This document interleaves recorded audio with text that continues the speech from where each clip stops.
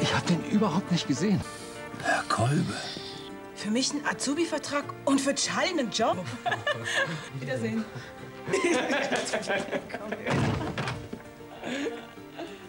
Worauf ihr euch verlassen könnt. Verzeih mir, liebe Inge, aber werd bloß bald wieder gesund. Sonst drehe ich dieser kleinen Göre noch den Hals um.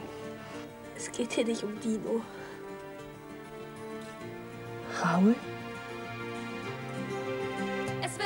Wird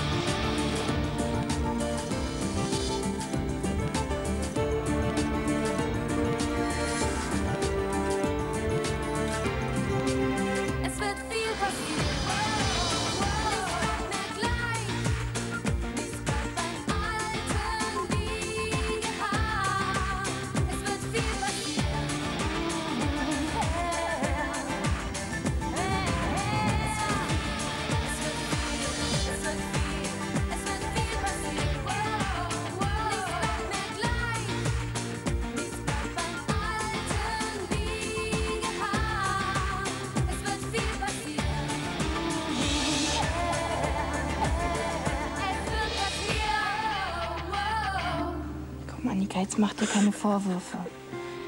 Du kannst doch irgendwann anders fahren. Italien läuft dir ja nicht weg und Dino auch nicht.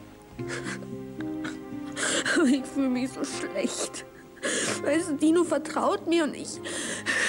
Das ganze, ganze Liebesgeflüster und so am Telefon, ist das alles echt? Oder, weiß ich, ich kenne mich selber nicht mehr. Komm, jetzt beruhig dich doch mal. Du liebst ihn doch, oder? Ja. Und wenn ich mit, wenn ich mit ihm telefoniere, dann spüre ich auch, dass wir zusammengehören. Aber, aber dann, Dann? dann sehe ich Raul und mir zittern die Knie und kriege ihn einfach nicht mehr aus meinem Kopf raus. Weiß ich, weiß ich, bin verrückt geworden bin, oder? Aber Dino hat es nicht verdient. Komm, er weiß es ja nicht. Gott sei Dank. Das habe ich mir auch gedacht. Aber ich, ich wollte Raul vergessen und ich versuch's, aber es geht einfach nicht, verdammt nochmal. Kann ich gut nachvollziehen. Es ist verdammt schwer, jemanden wie Raul zu vergessen. Was machst du jetzt? Ich weiß es nicht. Ich möchte Dino die Wahrheit sagen. Komm, Ja, los auf die okay. neuen Jobs. Und du weißt ja, du kriegst das Geld jetzt langsamer zurück. Ne? Bei der Versicherungssache hättest du alles sofort gekriegt. Das ist kein Problem. Du kannst es ja abstottern. Also das Jobangebot ist auf jeden Fall die bessere Lösung. Aber eins verstehe ich nicht so ganz. Der Meißner, der zahlt doch eigentlich drauf, wenn er dich jetzt auch noch anstellt, oder? Wieso zahlt er drauf? Naja, weil es für ihn billiger gewesen wäre, wenn er den Schaden einfach privat bezahlt hätte. Ja, wieso? Ich arbeite doch dafür. Okay, aber das ist doch Geschäftsmann. Also so richtig lohnt tut sich das nicht. Ist schon ein bisschen komisch, oder? Also wisst ihr, Meißner ist Geschäftsmann, aber einer mit Herz. Also die Geschichte mit Robby, dass er nur zu uns kommen kann, wenn wir Wohnung und Job haben, das hat ihn schon irgendwie angepitscht. Ja, außerdem ist es doch so, ich habe die ganze Schuld auf mich genommen von dem Unfall. Und jetzt ist er seinen Führerschein nicht los. Der ist ja wohl viel mehr wert. Ist doch Gold wert. Ist doch, ich weiß nicht, also, was ist das alles? Könnte schon Könnte ich- Hallo. Sonny, wo steckt denn dieses Kind bloß? Ach, hilft alles nichts. Ich muss die Polizei rufen. Hey, sag mal, was machst denn du hier? Hast du deine Mama verloren? Hey, sag doch was. Entschuldigung, das Kind gehört zu mir. So, ja, dann ist gut. Tschüss. Nicole. Nicole, was machst du denn für Sachen? Du kannst doch nicht einfach von zu Hause weglaufen. Ich will zu Oma. Mitten in der Nacht. Oh, Nicole, das geht doch nicht. Ach, ich meine, Besuch im Krankenhaus kann man doch nur am Tag machen. Nein, jetzt. Oma hat mich nämlich lieb. Die schon. Ach, Nicole, komm. Komm. Lass mich los, du schimpfst immer nur mit mir. Oh, pardon, junge Dame, wenn ich das nicht mag, wenn du von zu Hause wegläufst. Oh. Nicole, die Oma, die gehen wir morgen zusammen besuchen. Versprochen. komm, gehörst doch längst ins Bett, ab nach Hause. Du hast gesagt, ich bin eine kleine Göre und du willst mir den Hals umdrehen. Was? Hab ich nicht? Ich hab's gehört. Ich gehe nicht nach Hause, nicht mit dir.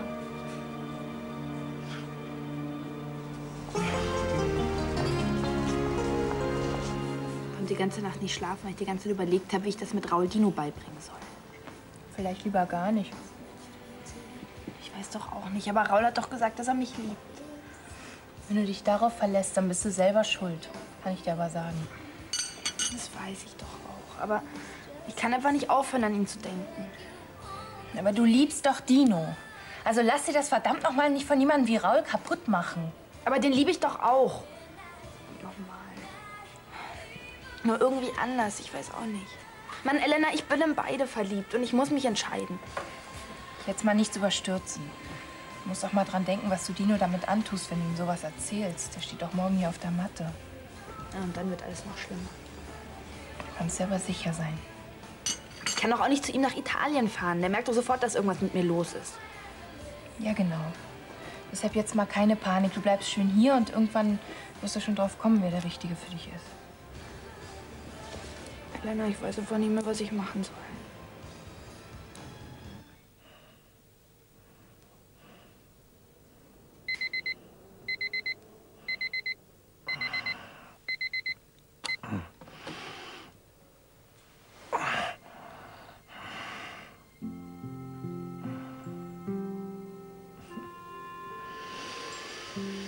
Was hätte ich nur gemacht, wenn ich dich nicht wiedergefunden hätte? Kleine, süße Biene Maya, du.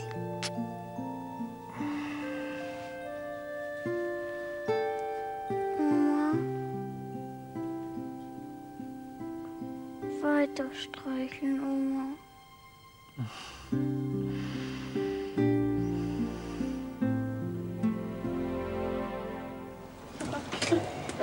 Ciao. Ciao. Dazu, der Meister, der will uns heute Abend sehen. Wieso hat denn der es plötzlich so eilig? Komisch. Ich denke immer noch daran, was Frederik gesagt hat. Ja, du, ist doch egal. Du hast selber gesagt, der Meister ist total in Ordnung. Außerdem geht's ja bei der Unfallsache um seinen Führerschein, oder? Ja, stimmt. Wenn er den jetzt abgeben müsste, das wäre blöd bei seinem Job. Ja. Ich nehme ja die ganze Sache auf mich. Also, so wie ich das sehe, ist der Käse gegessen. Heißt das, wir können die Wohnung jetzt zusagen? Ja, ich denke schon. Ich glaube, dass wir auch das Saugerecht für Robby kriegen. Natürlich muss Robby sich die Wohnung auch noch anschauen. Aber ich glaube, der findet die klasse. Fest von aus. Hi, grüß dich. Hallo. Äh, Hi.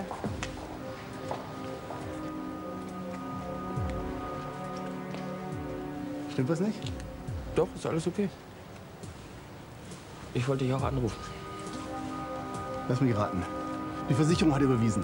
Mm, nee, das ist jetzt äh, alles ein bisschen anders gelaufen.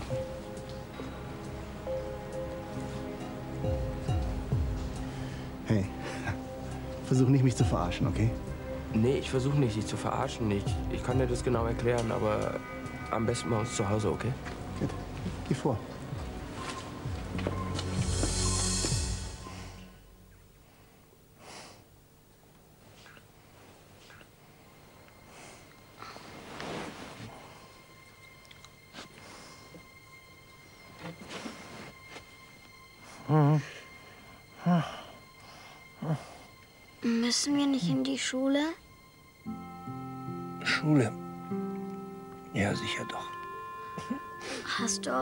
Geschlafen?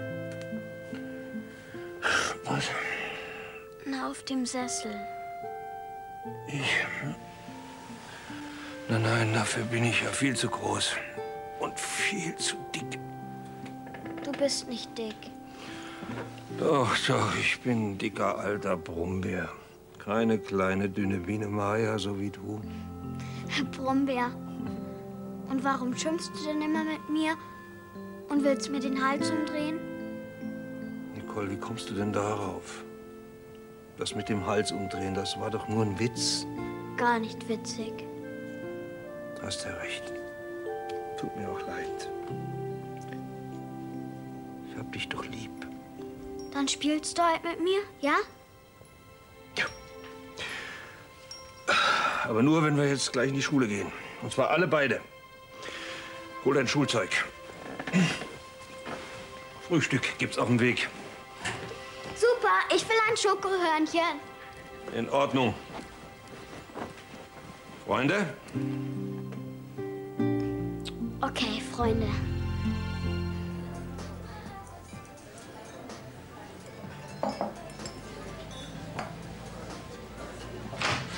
Hi, Annika. Ich dachte, du bist schon in Italien. Und nicht, wie du siehst. Was ist denn los mit dir? Ich glaube, das ist meine Sache.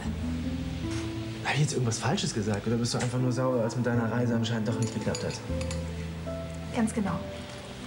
Ja, aber du wolltest doch unbedingt. Was ist denn da schiefgelaufen? Matthias hat es mir nicht erlaubt wegen der Schule. Ja, dann fährst halt in deinen nächsten Ferien. Aber dann könntest du ja eigentlich wieder bei mir im Laden arbeiten, oder?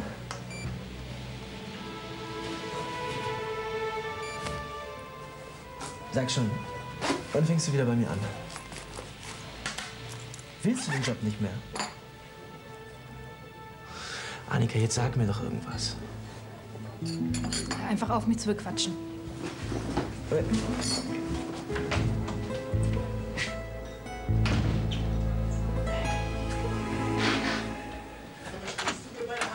Du kannst nicht so einfach aussteigen. Jetzt sei leise, sonst kennt hier jeder. Ich brauche nicht aussteigen, weil ich überhaupt nicht einsteige, klar? Irrtum. Du hängst schon mittendrin. Aus der Nummer kommst du nicht mehr raus. Doch, Charlie gibt an, dass er zu schnell gefahren Ja, genau, dann zahlt meine Versicherung und ich bin aus dem Schneider. Ich habe eine saubere Weste. Außerdem interessiert mich hier nur, dass ich dabei einen Job kriege, klar? Und jetzt ist Ende der Diskussion, du gehst bitte. Wieder Irrtum. Schließlich habe ich die Kohle für die Kiste gelöhnt. Ja? So, und meine Investition möchte ich zurückhaben. Und zwar jetzt. Ah, haben wir da ein Problem mit? naja, dann werde ich wohl das Ganze meinem Freund übergeben müssen, Wladimir. Wladimir hat sich auf Zähne spezialisiert. Und die Rechnung zahlst du. Das schwöre ich dir. Also, rüber die Kohle. Komm, Nicole, wir gehen heim. So kalt. Nein, noch nicht. Kannst du das auch? Ich? Nee, dafür bin ich doch ein bisschen zu alt. Und zu dick. Wer ist hier zu dick? Mein Freund, der Brummbär. Mmh. Ah, Danke, Detmann. Tag. Wie geht's Ihrer Frau? Ach, äh, meiner Frau. Ja, Frau Busch geht's ganz gut soweit. Sie musste ins Krankenhaus wegen dem Bein, aber ja, es wird schon wieder. Wird schon. Hm. Freunde, was hast du getan? Was ist denn los? Du! Reingefallen, reingefallen. Oh, nicht, nicht, nicht, Nicole, nicht so, meine Nerven. Ach, du bist so ein... Die ist ja süß, die Kleine. Ja, ja. Ist das Ihre? Ja. Das ist meine Enkelin. Ganz genau. Okay, Robby ist am Bahnhof, der kommt gleich. Und was ist mit uns? Du kriegst dein Geld, sobald ich meinen ersten Lohn habe. Das soll ich dir abnehmen? Junge, du bist so uncool geworden. Aber das mit uns wäre wahrscheinlich sowieso nicht gut gegangen. Komm, unterschreib den Schuldstein und ich mach mich vom Acker.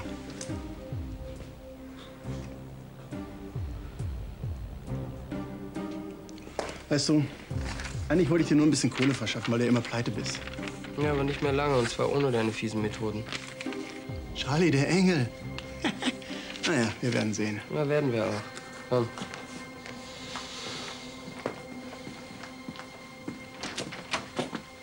Ciao, Bulli.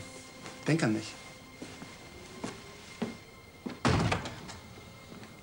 Wahnsinn. Endlich sind wir die Karikatur los, ja? Vergiss ihn. Wir sind doch bald Doppelverdiener. Hm? Und lass uns heute Abend ins Foxy gehen, ein bisschen tanzen, zum Laune heben. Hm, hier ist doch Raul auch meistens. Na und? Ich geh vor und check die Lage. Und wenn er da ist, kratze ich ihm die Augen aus. Besser nicht. Ich glaube, ich gehe nach Hause, dann verderbe ich keinem die gute Laune. Du schaffst das schon. Ich hab's ja auch geschafft. Aber mehr als drei Tage Trauer hat dieser Idiot einfach nicht verdient. Im Gegensatz zu Dino, der hat das nämlich verdient, weil er dich liebt. Ihr gehört zusammen. Weißt du, seit ich Raul klar gemacht habe, dass ich nicht mehr für ihn arbeiten werde, geht's mir schon viel besser.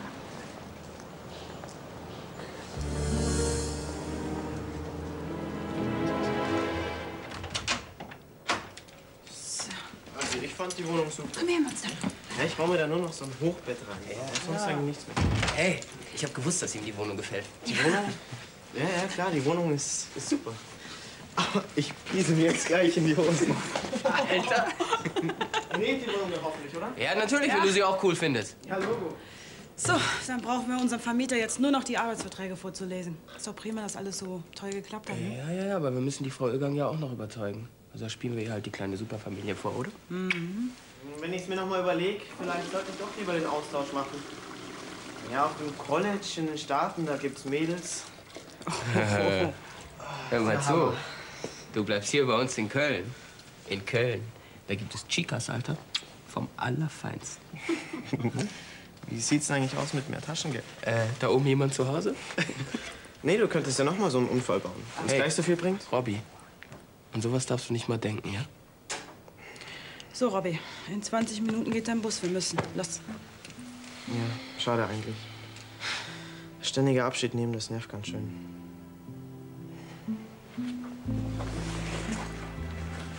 Robby. Das Abschied nehmen, das gibt's bald nicht mehr.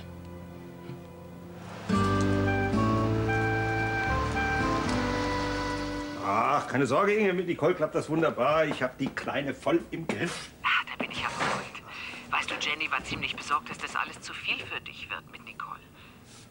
Die kann eine ganz schöne Kröte sein, wenn sie will. Das verstehe ich nur überhaupt nicht. Mit Nicole und mir klappt das einfach wunderbar. Inge, du brauchst dir wirklich keine Sorgen machen. Sehr schön. Und ins Bett gehen funktioniert auch? Ja, ja, selbstverständlich. Ich bin ja schließlich der beste Geschichtenerzähler der Welt. Süß. Du hast sie bestimmt schon ins Bett gesteckt. Die muss ja früh raus, die Kleine. Ja, natürlich. Sie schläft schon ganz sanft und selig. Ich muss jetzt aufhören. Ich muss noch was äh, für die Schule vorbereiten. Schlaf gut. Ja, ja, ja, genug geredet. Ich bin auch schon völlig müde vom Nichtstun im Krankenhaus. Aber zum Glück ist mein Bein ja bald wieder so weit in Ordnung, dass sie mich nach Hause gehen lassen. Also, gute Nacht. Gute Nacht. Ich muss noch nicht schlafen, oder? Doch, du musst. Dann will ich aber noch eine Geschichte. Du bist doch der beste Geschichtenerzähler der Welt. Und Zähne schon geputzt? Okay. Jetzt eine Geschichte. Bitte. Ja, dann deck dich doch erst mal zu. So, mal schauen, ob mir irgendwas einfällt. Augen zu, mein Schatz. Okay. Also, es war mal eine kleine Prinzessin, die trug den schönen Namen Nicole von Wolkenkuckucksheim. Dann baggert er schon wieder die nächste an. Hat sie doch nicht mehr alle. Sag ich doch. Wenigstens scheinst du über die ganze Geschichte hinweggekommen zu sein. Schön wär's. Es ist immer noch da. Ich krieg diesen blöden Typen einfach nicht aus dem Kopf. Elena. Wann bist du eigentlich mit der ganzen Sache klargekommen? Ich meine, dass er sich in mich verliebt hat. Ich hab's ja wirklich nicht gewollt und ich hab's auch ewig lang nicht gemerkt. Ja, ich weiß doch. Ich bin ja auch nicht mehr böse, wenn du das meinst. Aber es war schon schlimm. Es hat ganz schön wehgetan. Versteh mich bitte nicht falsch, aber warum verliebt er sich ausgerechnet in dich und nicht in mich? Das verstehe ich ja auch nicht. Ich meine, du bist ja viel hübscher als ich. Ach komm, bitte. Naja, was soll's. Blond sind wir ja leider beide nicht. Stimmt. Bei Herrn Garcia ist diese Woche wohl blond angesagt. Ach komm, vergessen wir diesen Idioten einfach. Wir haben doch uns. Das kann uns kein Mann der Welt wegnehmen. Soll ich heute Nacht bei dir im Zimmer schlafen? Hm. Ich hab dich lieb, Schwesterchen. Ich dich auch. Ich muss Raul einfach vergessen. Ich hab doch Dino. Der ist treu, zuverlässig. Außerdem hat er echte Gefühle. Schlaf gut. Fräulein von Wolkenkuckucksheim. Aber vielleicht doch besser in deinem eigenen Bett.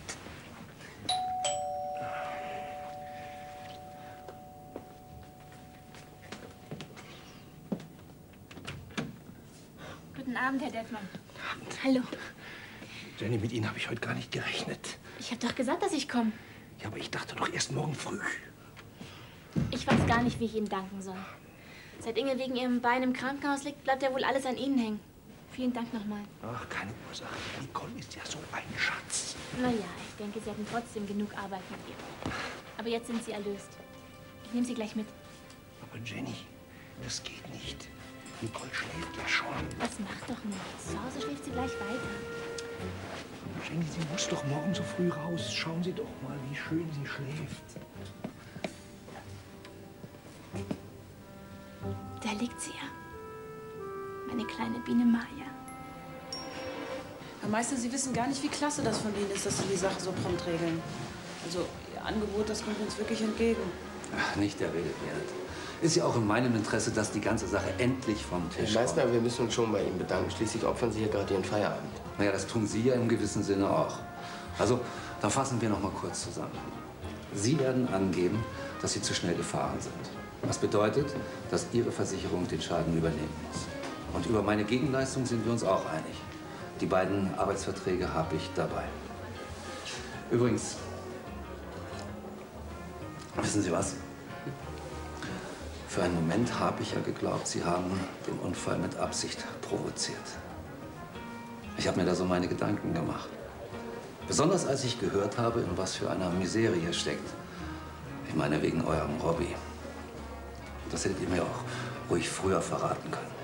Aber jetzt haben wir ja eine Lösung gefunden, die uns allen weiterhilft.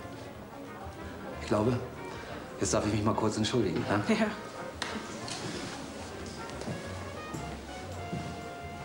Hey Joe, glaubst du, der hat irgendwas gemerkt?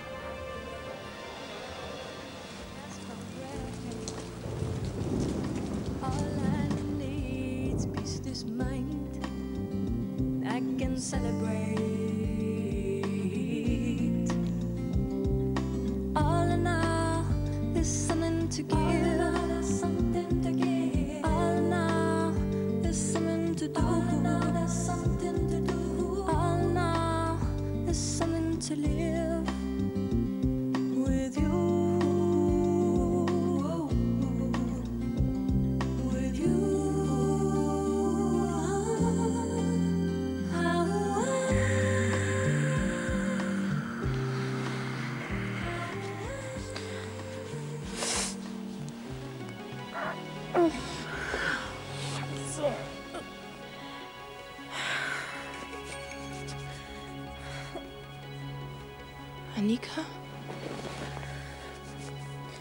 alles in Ordnung? Verdammte Neurodermite. Gedacht, die wäre schon ganz weg wieder. Und jetzt?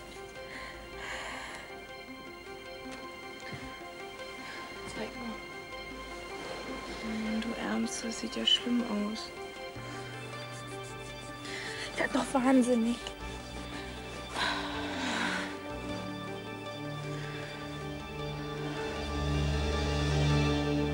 Wirklich gewusst hätte, dass du den, den Crash absichtlich gebaut hast, dann wäre er doch zur Polizei gegangen. Hm. Ja, da ist was dran. Ja, und so habt ihr beide einen Deal. Er lässt dich eine Falschaussage machen und steckt selbst mit drin. Ja, du hast recht. Wenn er das anders regeln könnte, dann würde er das auch machen. Meister, der kann überhaupt nicht wissen, dass da irgendwas ist. Du hast recht. Da wäre ich mir an Ihrer Stelle nicht so sicher. Darf ich mich kurz vorstellen? Mein Name ist Roth. Ich bin für die Kfz-Versicherung von Herrn Meißner zuständig. Ja, und womit Sie Ihren Lebensunterhalt verdienen, das haben wir jetzt gehört.